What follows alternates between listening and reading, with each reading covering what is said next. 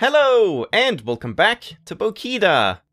In the spring. It just faded away. Apparently that's what this area is called. Is it the last one? Let's find out. But it's a kaleidoscope kind of thing. Oh, right, I have clean on. Yeah, it just places... Why am I... Oh, man, I feel so short that I can't... I'm not taller than a single block. I guess that's always been the case. But yeah, this, this effect is interesting. Huh. I feel like I can do some stuff with this. I actually looked into some achievements just because I was a bit worried about, like, cutting through a thousand blocks and cleaning 20,000 blocks in one playthrough and stuff like that. That's a lot of blocks, especially since some of them say debris or fragments. Like, I thought you had to clear 3,000 or something. Was it 3? Uh, blocks in a single clean. And that just sounds insane. But apparently it's debris or fragments. So you can just, like, create a bunch of blocks and then use the, the shatter. How did you use the shatter power again? Was that those cut and then you like wait how did you do that? It's not middle click. Oh wow even the push is mirrored. Right click? Ah that's it. And yeah that just cuts them in half every time. So let's say i mean i guess you could theoretically just mathematically calculate how many times you need to do it. You place down like 50 blocks and then cut them into 100 blocks and then 200 blocks, if, if it even works like that. I mean, maybe it has a limit or something, but yeah, you should be able to do that pretty easily. And apparently the, uh, like, cut through a thousand blocks in one single cut is also just debris and fragments. It's just anything counts. Like, at this point, these two count as two separate blocks, even though they were part of the same block. So I get, like, cleaning one block for just doing that. Or, well, two blocks, I mean. For uh, cleaning them up. So, that's interesting to note. We'll see how much I need to do.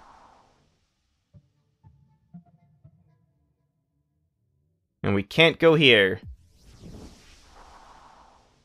But yeah, this this might be a good place to do it. I might do it here, because this is a pretty good, like, playground.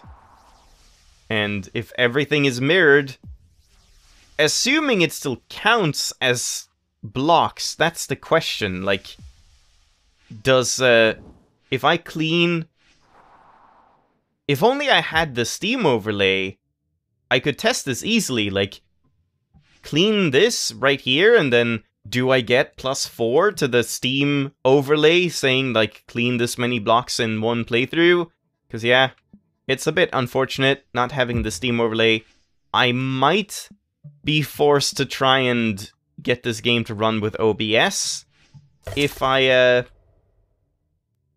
Oh, oh, that's where I came from.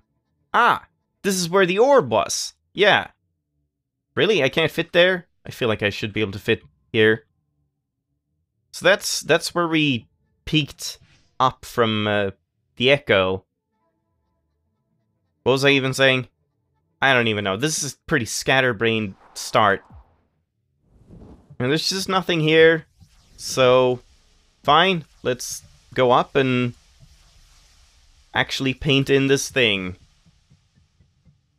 Wait, hold on. One last thing. What is under here?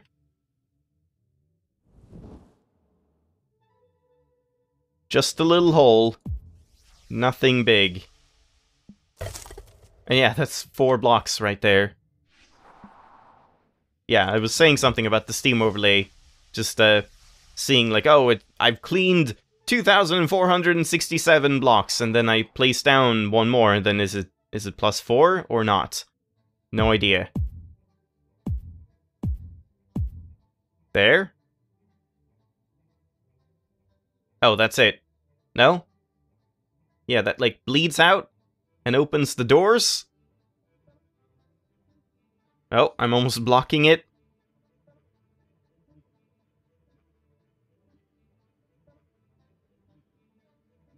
Okay. Oh, there's there are my blocks that I came up with. That's interesting that they're still here. Oh no. Okay. I thought it was going to like put something there and that was going to be weird. Well, it, it kind of is weird. Oh, I already have those put in. I thought I cleaned those out. I guess I didn't. Well. Oh. Jesus. Whoa. Whoa. Holy crap, I'm not, like, catching everything that's happening. There's a lot going on at, at once. And the world is, like, breaking apart? We're getting sucked into the dark planet? I can't jump. I can play stuff, though.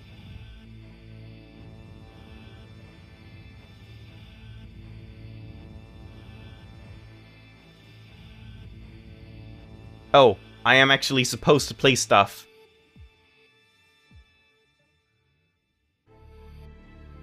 Clean. What? Push. Cut. Oh, I'm like unmaking? Yeah, I'm losing my powers. I see. Uh, I really shouldn't have built this. Now I'm like ruining this, uh, this final sequence. 이제 너의 사명은 끝났으니 Begone. 흙으로 돌아가라. Wow. 그래요. Fucking rude. 따뜻함이 다시 느껴져요. I did all this for you! And you just off me.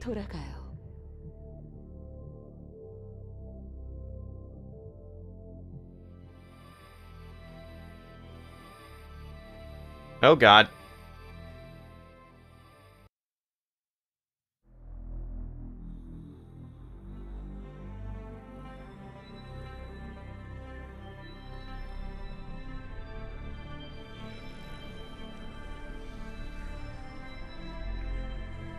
Look, kids.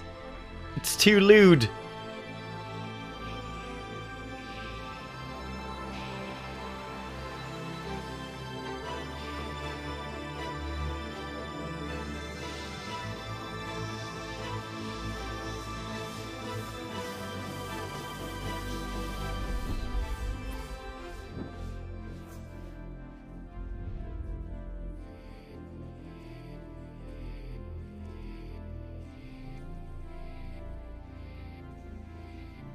And they form a yin yang.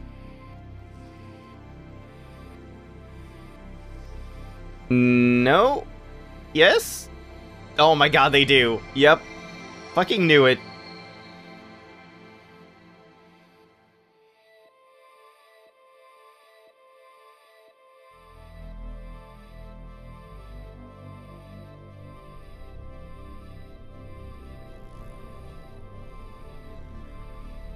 Yep.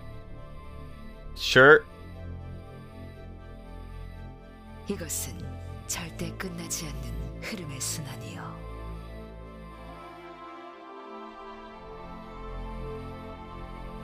Bokida! Heartfelt reunion. And that's it. Well, that was pretty quick into this episode. Thought there would be more to that last area?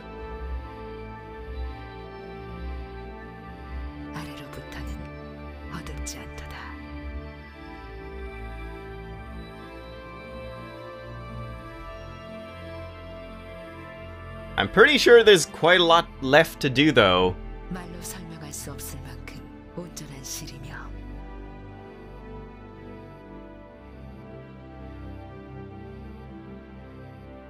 Only oh, and yes, I was saying, I might have to try and make this run on OBS or record with OBS so I can have the overlay active while I play, because I think that should work in OBS. Because some of these achievements might be a little hard to, to, to get if I don't see if I get them or not. Like, I won't know when I push a thousand blocks in one go or whatever, if the game doesn't pop up and tell me. So yeah, that might be something I have to look into. But before that, there's quite a lot left to do. I mean, there's finding all the echoes, of course, and going to that yin yang door, if that even exists in the save file anymore, if I have to replay it or load an old backup. And then steles, lots and lots and lots of steles. Apparently, there's like, I don't even know, it was like more than double of what I've read is left to read. So, there's that. There was also another power somewhere that I haven't gotten. Yeah, yeah. A couple of other things. Messenger, awaken. Do do it again.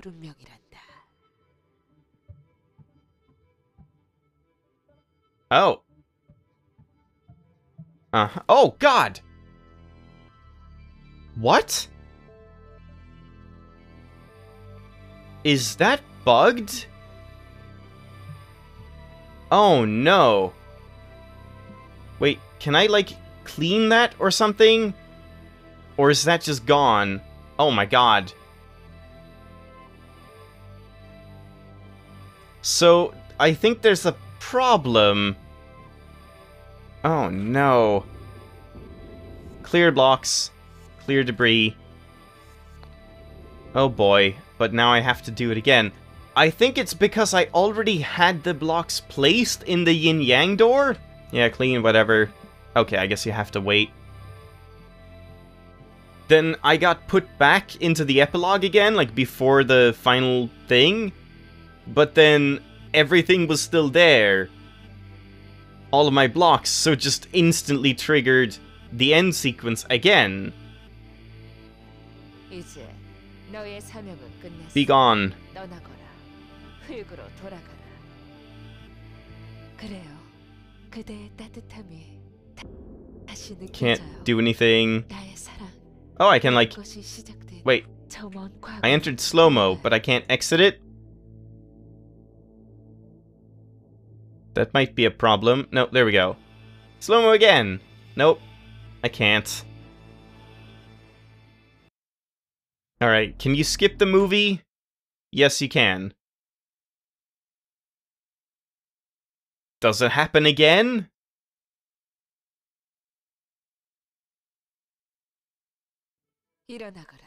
Awaken again! Clear blocks, clear debris. What now?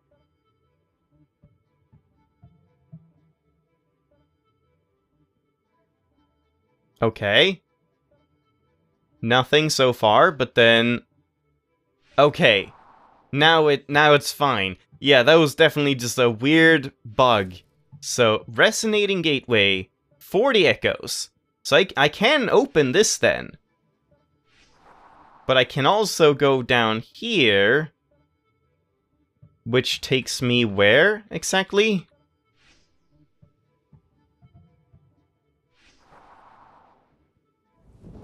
Is this... Yeah, that's that's the island right there. Okay, so that's why I got sucked over there. Because uh, I'd already placed the blocks, same as before. I wasn't supposed to get sucked up to the door. But well, let's open this one then.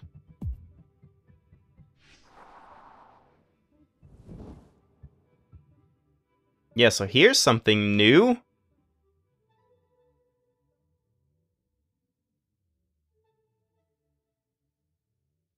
Aha! Maybe this is where you get the last power. The Nameless, again. This area comes up quite a lot.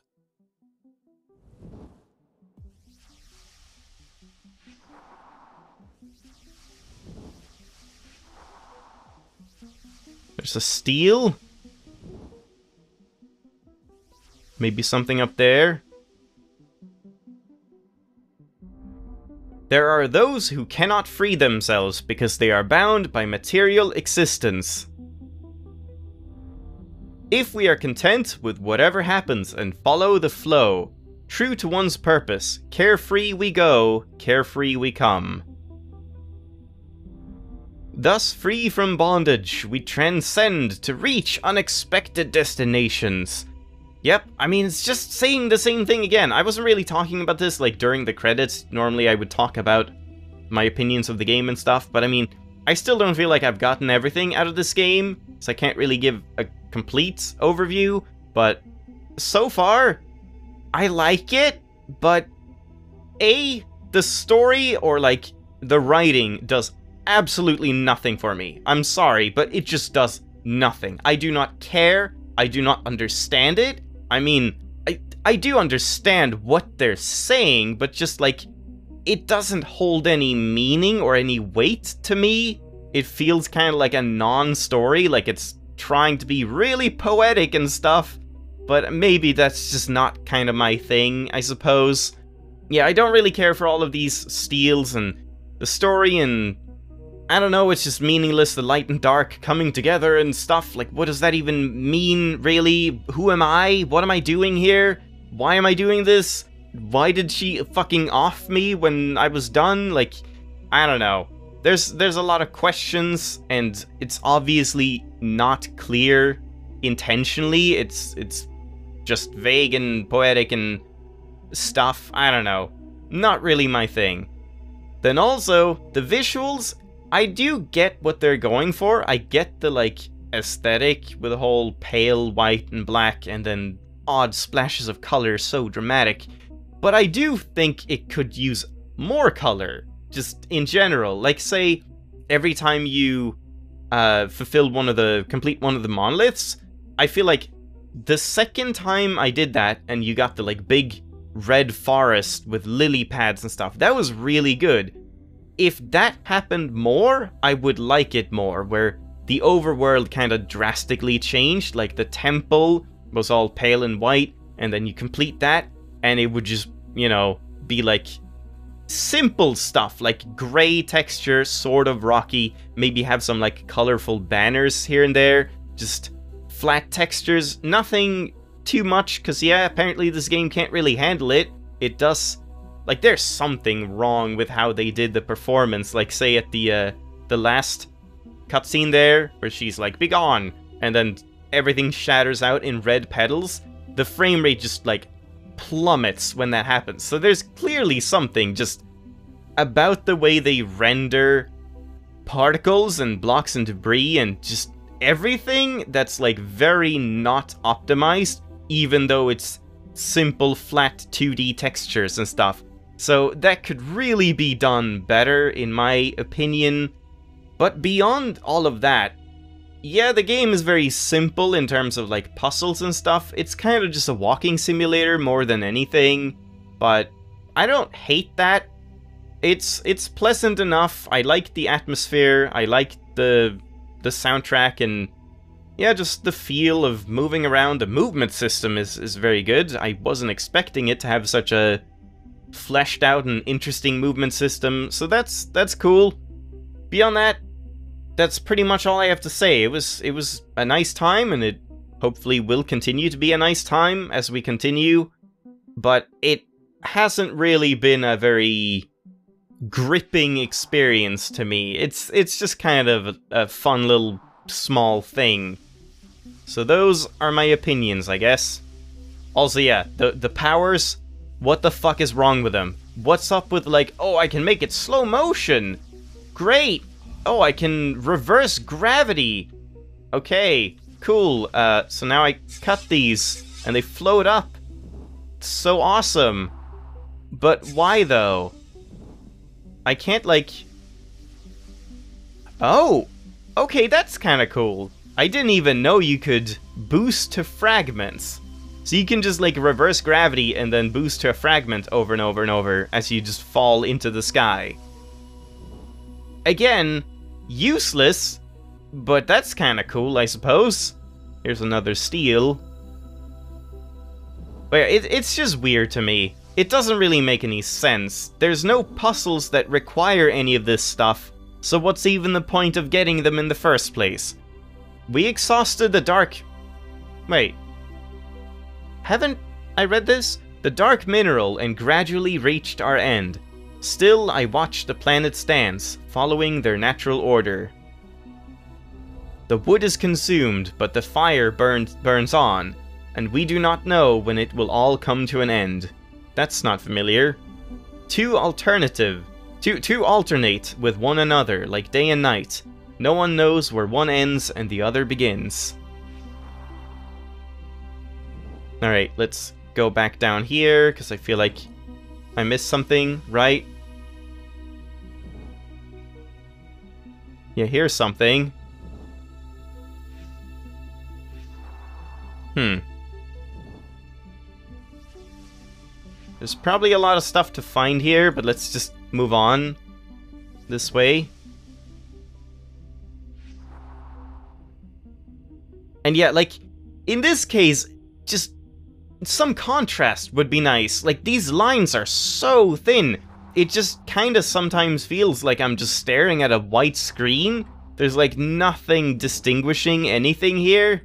So it's it's sometimes kind of hard to make out what I'm even looking at.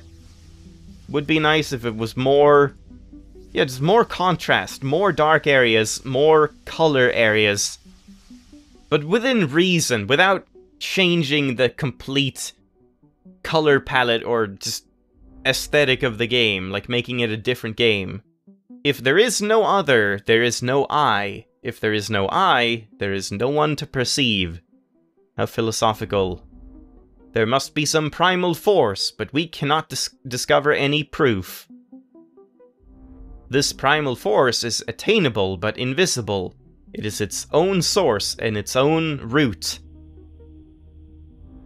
It existed before heaven and earth, and for all eternity. I see it in the dance of the two. Cool! Good for you, man.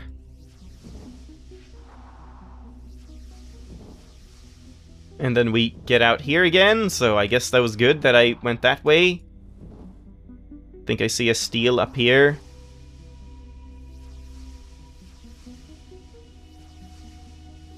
I guess this is where most of the, the words are that I haven't read. At the still point in the center of the circle, one can see the infinite in all things. What does that even mean? It is the truth that I now observe. Right is infinite, wrong is infinite. Cool story. Therefore I say, behold the light beyond right and wrong. Oh my god. The wisdom is immeasurable.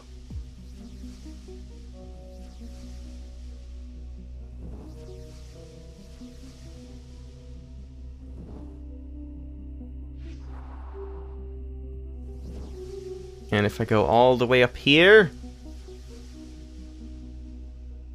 There is stuff here, but I feel like maybe I'm skipping ahead. Like maybe you're supposed to climb up this way from somewhere else. So let's just drop down for now and keep going.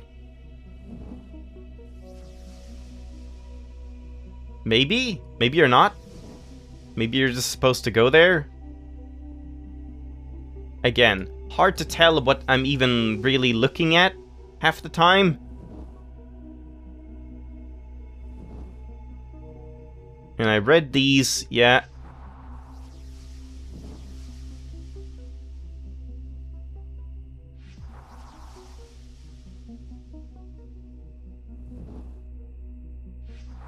Oh boy. Oh boy. Here's a path up. Oh, this kind of looks like the place where you kept, like, falling infinitely. Whoa. What? The fuck was that? The light isn't changing, is it? Yeah, I could go there. There's a lot of places to go. This is pretty open and confusing and empty. Like, there's not really anything here. It's just travel around and find steles. I suppose, but maybe there's something hidden. I don't know, but I'm gonna leave it off there. Not the most fulfilling finales I've ever had of a series. Obviously, this will keep going, finding all the orbs, finding all the seals, trying out different things. But that's that in a way. Thanks for watching. Hope you enjoyed. I'll see you next time. Bye bye!